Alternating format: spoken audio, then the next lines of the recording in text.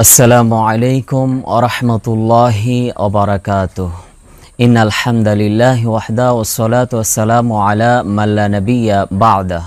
أعوذ بالله من الشيطان الرجيم. إنا عرضنا الأمانة على السماوات والأرض والجبال.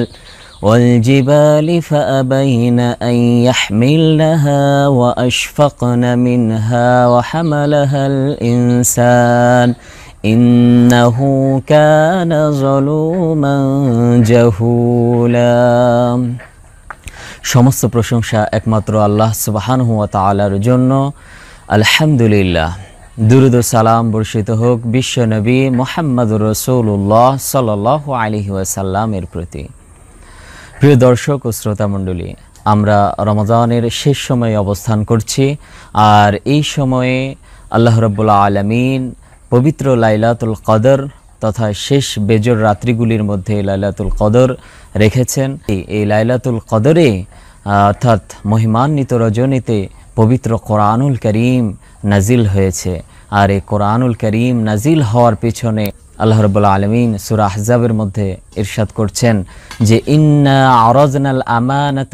সামাওয়াতি ওয়াল ওয়াল জিবাল।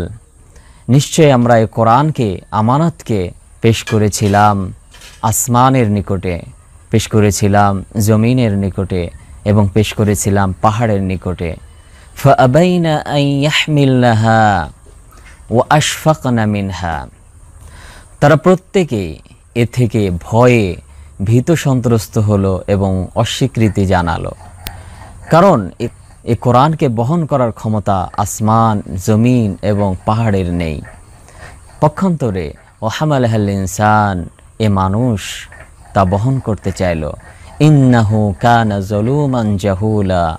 আর সঙ্গে সঙ্গে আল্লাহ রব্বুল্লা আলমিন বললেন যে, নিশ্চয় মানুষ হচ্ছে জালেম, মানুষ হচ্ছে অজ্ঞ। এ আমানত দ্বারা কি উদ্দেশ্য?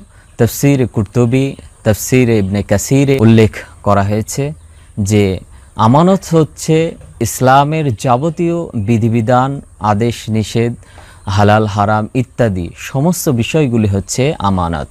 অর্থাৎ কোরআনের যে মূল থিম, কোরআনকে মানার ক্ষেত্রে, জানার ক্ষেত্রে যে কর্তব্য রয়েছে তা আসমান, জমিন এবং পাহাড় তার যথাযথ হক আদায় করার ক্ষমতা রাখে নাই।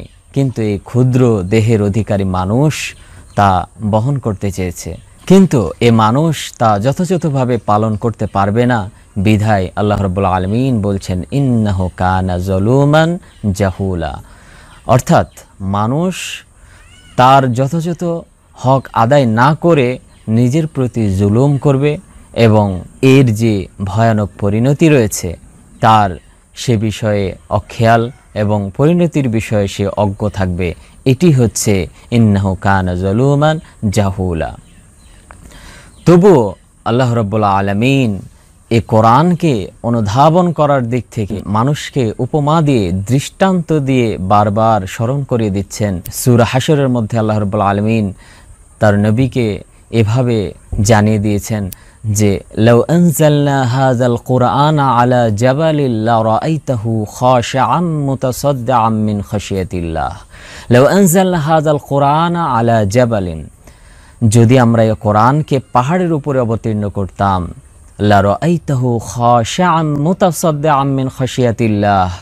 হে নবী, আপনি অবশ্যই অবশ্যই দেখতে পেতেন যে পাহাড় ভয়ে বিনীত হয়ে, বিদীর্ণ হয়ে যেত আল্লাহর ভয়ে।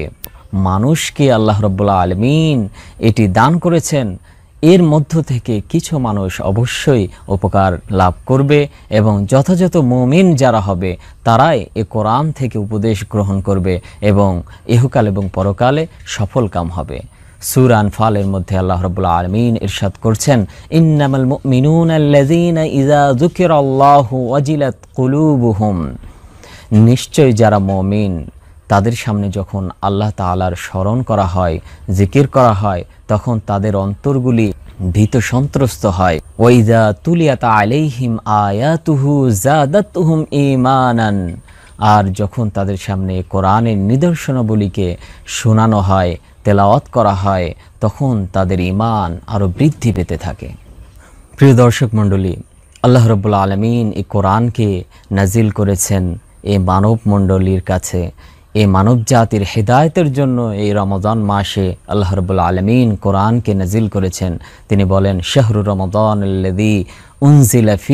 কোরআন হুদাল্লিন নাসি ওয়া বাইয়িনাতিন মিনাল হুদা ওয়াল ফুরকান। এই শাহরু রমজান রমজান মাস এমন একটি মাস যে মাসে কোরআনকে নাজিল করা হয়েছে মানব জাতির হেদায়েতের জন্য। বাইনাতি মিনাল হুদা ওয়াল ফোরকান এবং হেদায়েত এবং সত্য মিথ্যা পার্থক্যকারী হিসেবে স্পষ্ট রূপে। তাই আসুন, এ কোরআনের যথাযথ হক আদায় করে, এ কোরআনকে অনুধাবন করে, এ কোরআনের আলোকে আমাদের জীবনকে আমরা গঠন করি। আল্লাহ রব্বুল্লা আলমিন আমাদেরকে সে তৌফিক দান করুন। আমিন। আসসালামু আলাইকুম ওরহমতুল্লাহি